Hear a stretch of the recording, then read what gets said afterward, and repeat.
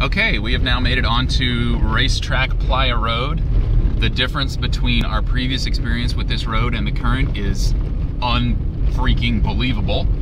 We are currently moving along at 40 miles an hour, which is four times as fast as we were able to go on our last trip. We'll see how uh, how this shakes out and uh, forced to slow down at some point, I'm sure we will be as the conditions get rougher. But uh, yeah, so far so good. Definitely pays to spend several hundred dollars on a Jeep.